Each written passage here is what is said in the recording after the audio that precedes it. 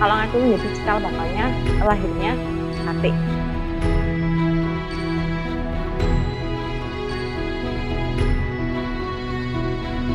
Batik kita anggap sebagai produk budaya yang perlu kita lestarikan.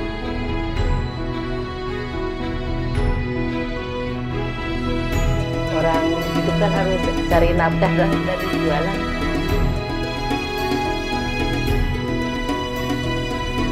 Istiqomah itu lebih baik dari seribu rahmat kemuliaan